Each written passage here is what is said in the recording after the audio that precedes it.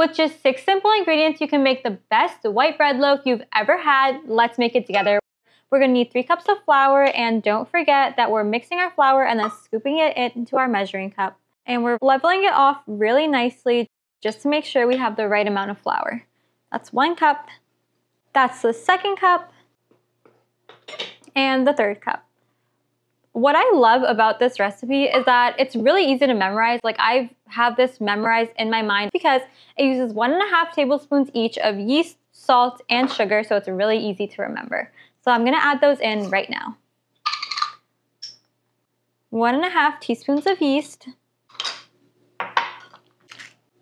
one and a half teaspoons of sugar, and one and a half teaspoons of salt, but I'm just gonna kind of eyeball it. There we go. We are gonna grab our handy dandy spatula and give this a really quick mix. This is another one of those recipes where you just throw everything in a bowl, set it and forget it, and it's no knead, so it's kind of just like the perfect recipe. And last but not least, we're gonna add one and a half cups of warm water, warm, not hot, and the only other ingredient you're gonna need is olive oil, but we're gonna save that for later.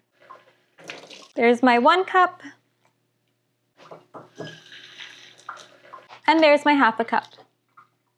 And once again, we're gonna give this a really good mix just with our spatula. We're not using our hands because this again is a really, really easy beginner friendly recipe that anyone can make. Make sure you're getting every little speck of flour in there. If it's not combining at first, it's just because your flour needs time to really absorb the water. So just keep mixing and it'll come together really nicely. Okay, once our dough has really come together and there's no dry flour left, we're just gonna kind of push everything towards the middle. And then we're gonna cover this and let it rise for an hour to an hour and a half until it's really doubled in size. We're just gonna cover this with some saran wrap and you can just leave it on your kitchen counter if your kitchen's warm. Or if it's very cold, then you can put it in the microwave or your oven turned off. Oh my gosh, this dough is more than doubled. So what I'm gonna do is just remove this top saran wrap. Wait, get a little jiggle. just look at that. This is such a gorgeous dough. Okay, so we're gonna release this dough from the sides of the bowl. You can either use your hands like I'm doing, or you can just use two forks if you don't wanna touch the dough, which is totally fine.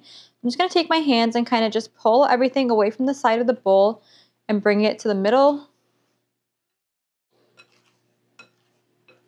Kind of just make sure it's all released and in the center. And then what we're going to do after I wash my hands,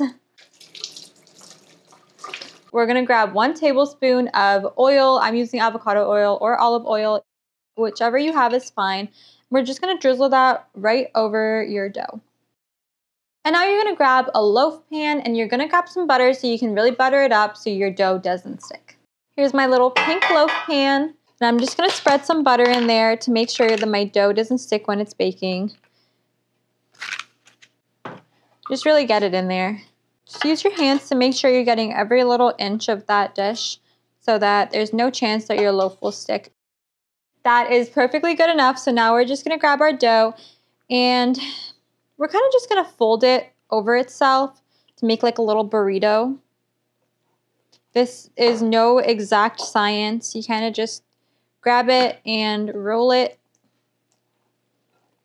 just enough that it comes together into a little loaf shape and we can put it into our pan.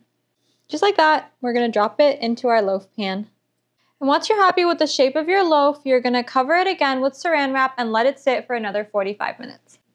And at this point, this is completely optional, but you can add any toppings you want here. So you can do herbs and cheese, cinnamon and sugar. I'm doing some sesame seeds just because I love sesame seeds. Just gonna sprinkle it all over the top of my dough. So I will see you back when my dough has absolutely rise and kind of just domed over the top of the loaf pan. I'm really going to leave this very lightly on top, just like that. Okay, so this is exactly what you want your loaf to look like when it's ready. It's perfectly domed over the top of your baking dish and look at that jiggle. Oh my gosh, I'm so excited to bake this. So this is gonna go straight into the oven. It's gonna go on the bottom rack of the oven at 375 degrees for 45 minutes. In it goes. And the best thing to do is to put it in horizontal so that way it bakes really evenly. And I will see this in 45 minutes.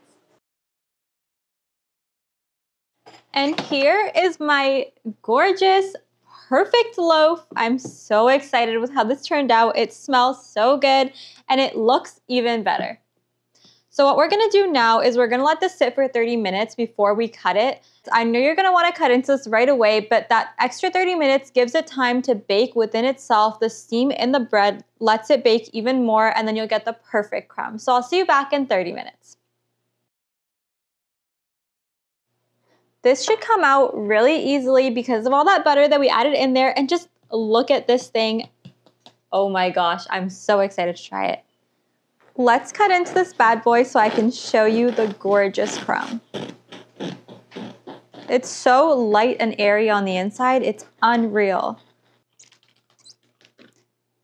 If this doesn't make you want to try out this recipe, I don't know what will. Thank you so much for watching this video. The full written recipe is going to be in the description and don't forget to subscribe for so much more.